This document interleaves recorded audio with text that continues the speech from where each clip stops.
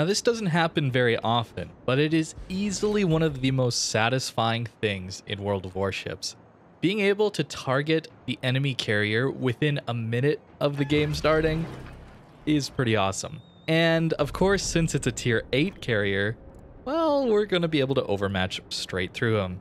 This is something the Yamato can definitely do, probably even a little better than the Shikishima since it has the volume of shells, where Shikishima only has 6 shells in the air, and, well, it gets a slightly better reload.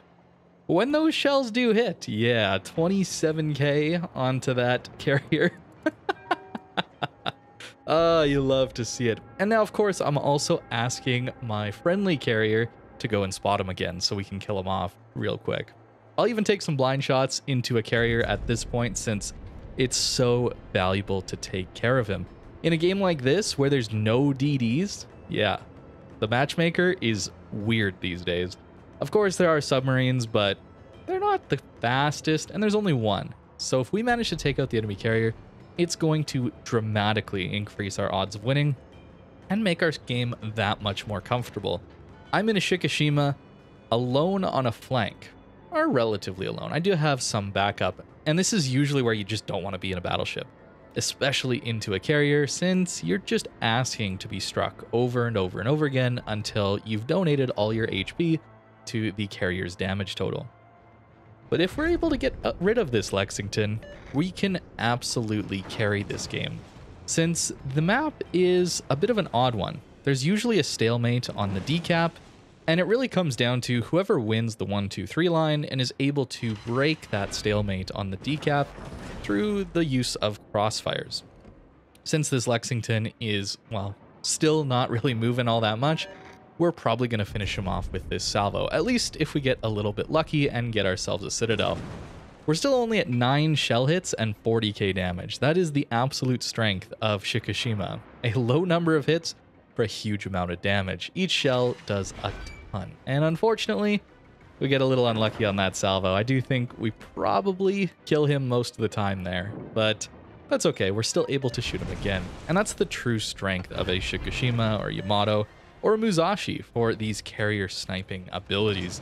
They have great shell velocity over range. Since the shells are so big, they don't lose a lot of their velocity to air drag. And the overmatch is pretty nice, as our friendly Yamato tags in and finishes off the Lexington. Less than four minutes into this game, and in a random battle without a div, we've managed to take out the enemy carrier. And, well, that guy probably didn't have the best game, the rest of us now get to enjoy ourselves without getting struck from the air over and over again. And I'm going to take full advantage of this, pushing down the one line, slowly building a crossfire, and forcing the enemy team into a corner of the map. This is one of the best ways to win and secure games once you've built an advantage on a flank. If you're able to box the enemy team into only one quarter of the map, and your team controls the other three quarters, it's pretty much game over for the enemy team since they can't angle to everyone. So that's why I'm just going to slowly push my way up here. Not too quickly, but slowly work my way through, forcing this Kurfürst back, forcing the Cleveland back. Fortunately, the Cleveland didn't decide to sit on that island and start spamming me with HE, while being relatively protected behind that island. And I'm just going to slowly push up this flank and hopefully allow my teammates, who are a little bit narrower, right? You can see we got some cruisers and a Yamato pushing up along the three line, that is a relatively safe position if I'm able to push this Kurfürst even further away. And yeah, you can see how much map control we have compared to the enemy team at this point. They do have the decap, but well, once you control the one, two, three lines, it's very, very easy to gain control of C as well, since there's really no way to contest C cap from their side without exposing themselves massively to our broadsides. And I really do think that the Yamato class is one of the best battleships that you could possibly play still. It's just such a classic in the game, and there's no gimmicks here that really make it only work in certain scenarios. The gimmick is overmatch, massive guns, right? And that works no matter what. If you're close range, long range, you're getting focused by the enemy team, or maybe you're having to push in. It's not like you're reliant on your secondaries, for example, or some HE or anything like that. It's just a classic battleship that's good in all scenarios. And because of that and its versatility, we can do some massive damage through sniping. Every Citadel, of course, is nearly 20k in a Shikishima, but with the Yamato, 14,500 plus a few more pens because of the extra shells is going to be more than enough to do huge damage to these cruisers and a lot of the battleships that we see along here as well. And that's one of the reasons I'm playing the Shikishima today. The reason is I've been feeling like I suck at battleships recently, and I took a look at the recently played battleships that I've been having, and it's German battleships like the Preußen or the Schlieffen. I'm trying to play a secondary build Ohio. I'm trying to go for these crazy aggressive brawling plays in a meta that really just doesn't support them. A solid sniping support battleship that slowly pushes up a flank, well, that's just going to be a way more consistent playstyle than something like a brawling battleship. And yeah, we punched through into the NC's Citadel finally and managed to take him out. And of course, this game is pretty much over at this point. It's just a matter of cleaning things up. That said, it's not the easiest thing in the world to aim at these extremely long ranges. My aiming video is extremely old at this point. I, uh, yeah, I went back and took a look at it. That's definitely one of my earlier videos, let's just say that. But a lot of the things I had to say there is still true when it comes to aiming at long distances.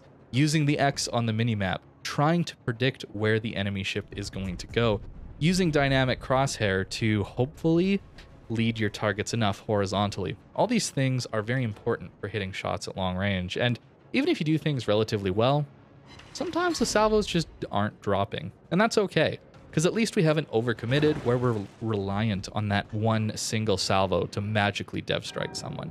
So I'm trying to play this more passive battleship playstyle, and it's really gone well for me as I've played a couple Yamato games, a couple Shikishima games, and they've all been really, really solid. Unfortunately, that little salvo there dropped low. But being able to predict what people are going to do and being able to support your team in a flank or even being that major central capital ship pushing in, it's a really massive strength of the Yamato class. And I think you should be trying to play these ships if you're struggling with battleships at all like I am. You've been trying to play the brawling style, trying to push in, and it's just not working. I think the Yamato is one of the better ones that you could go for. Of course, I did a one take on the Republic recently, and that one worked out pretty well as well. So, what it comes down to is accuracy at range and the ability to impact the game early on. In this case, taking out the carrier within a few minutes of the game starting. That is always one of my favorite ways to start a game, even if it doesn't happen all the time. It's very satisfying when it does. As for the captain build, of course, it's just the standard build again. I haven't changed it, and I don't plan on changing it for some time. If we're trying to be good in every situation, not overkill into secondaries, trying to maximize our close quarters potential, but be solid in every situation, I think this is going to be the best possible build. And it seems to work very, very well, no matter what game I do find myself in. Of course, the upgrades are looking like this, at least on the Shikishima. I'm very much valuing auxiliary armaments mods since the AA is all right on Shikishima thanks to these Harugumo 100mm turrets, kind of dual purpose secondary AA guns that do a reasonably good job. The Shikishima AA is much, much better than the Yamato and is definitely one of the reasons to get it.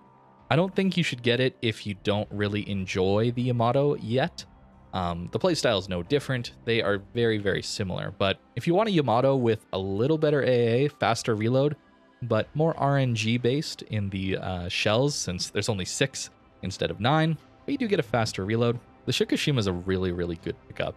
And I've had a lot of fun with the Yamato class in general recently. So thank you very much for watching, and I hope you have a great rest of your day.